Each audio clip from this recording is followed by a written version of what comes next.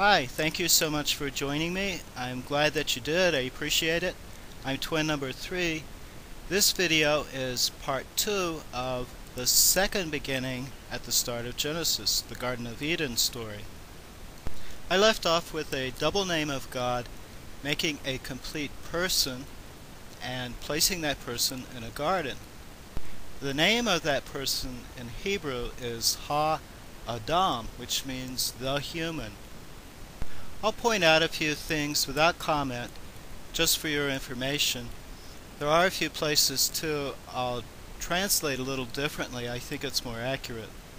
That's for those of you who want some more detail. For those who want to just follow the main storyline, I'll keep it brief. In chapter 2, verse 7, YHVH Elohim made the human from the dust of the ground. And there's something new here that was not in chapter 1.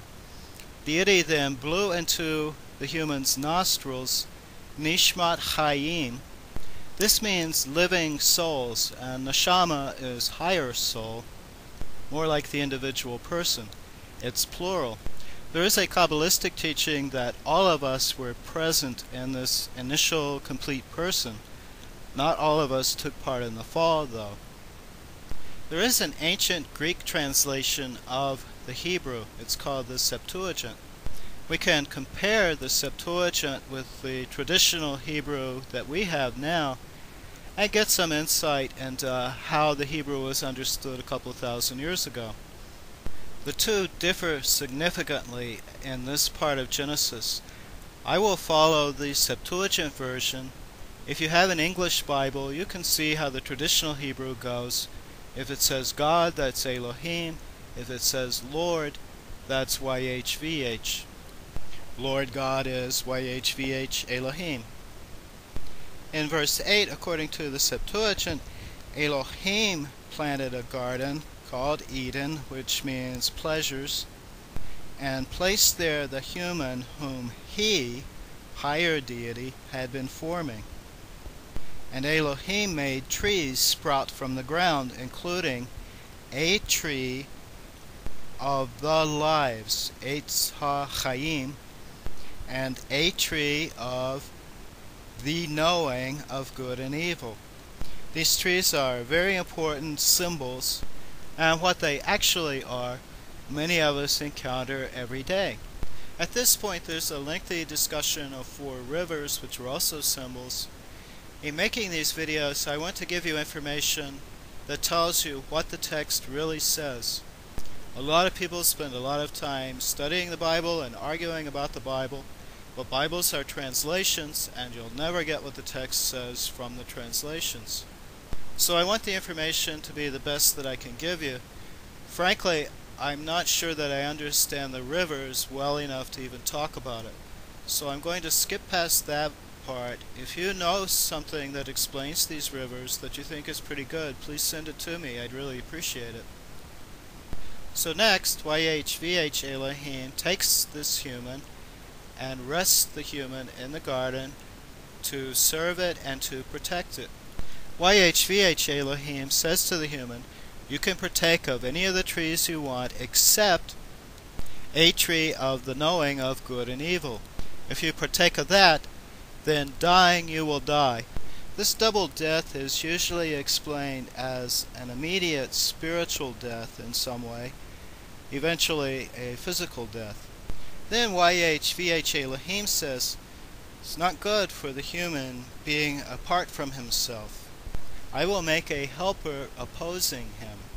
Now here's a little point. Hebrew words have to be masculine or feminine, and the word helper here is masculine. There is a feminine form of the same word, meaning helper, but it is not used. So if you're a heterosexist and say that God made men to be with women, and that's the natural thing, you have a big problem with this verse. Why didn't it say the feminine form of helper if that was the intent? You have a problem with the next verse too. If God is deciding that it's not good for the man, it's really the human, to be alone, why is the solution for this to make all kinds of animals? I mean, from a heterosexist point of view, this is almost laughable, really. Oh, there's a lonely guy, let's get him a bunch of pets. According to the oral tradition, the companionship provided by the animals as a cure for the loneliness worked, at least for 100 years. Well, it almost worked. The, the human got along very well with the animals. They all lived in harmony. So none of the animals constituted a helper opposing the human. Please pardon a small aside at this point. It concerns those who argue that heterosexuality is normal or natural and that homosexuality is unnatural. Now you might come up with that from some philosophy somewhere, but you'll not get that from the Bible. Here's an example. Isaiah in chapter 11 talks about the ideal world to come when we have a new heavens and a new earth. You've probably heard some of these verses. I'll go through them very quickly. The wolf will sojourn with the lamb. The leopard will crouch with the kid. The calf and the lion and the fatling will be united, and a youth will drive them. A cow and a bear will feed united, and their children will lie down together. And the lion will eat straw like an ox. Notice that this ideal world that the highest deity will establish is a very unnatural world. In every case, a domesticated animal is paired with a wild animal.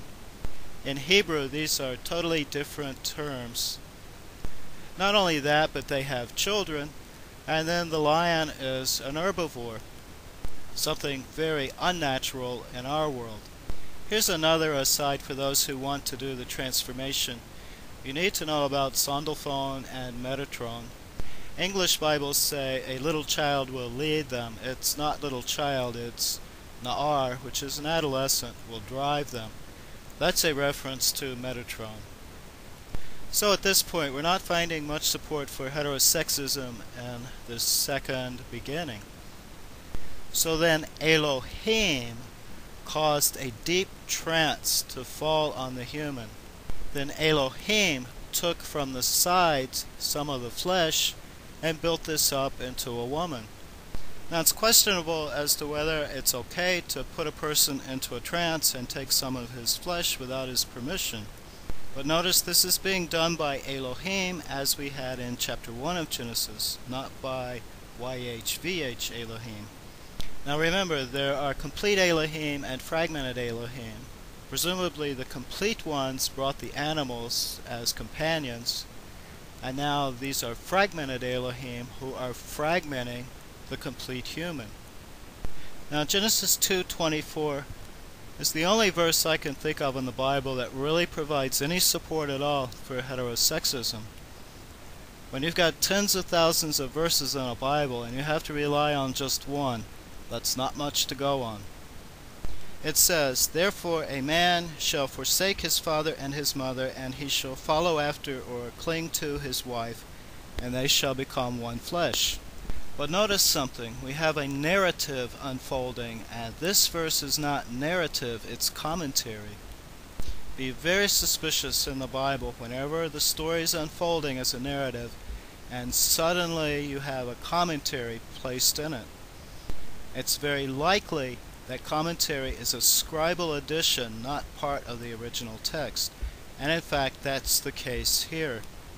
If you saw my channel intro videos, you know there's a way to detect scribal inserts into the book of Genesis. This is an insert. So the thousands of verses in the Bible, heterosexists don't have a leg to stand on, they don't, don't even have a toe to stand on. It's more like they're standing on a hair, and they don't even have that. Throughout the entire Bible, it's the pathetic, fragmented, fallen, male and female Elohim who are opponents of higher deity and of the transformation. From a biblical perspective, heterosexism is the disease, the cure is higher deity becoming complete, and those people who want to bring the big change, the transformation. Thanks so much for listening. Blessed be, be blessed.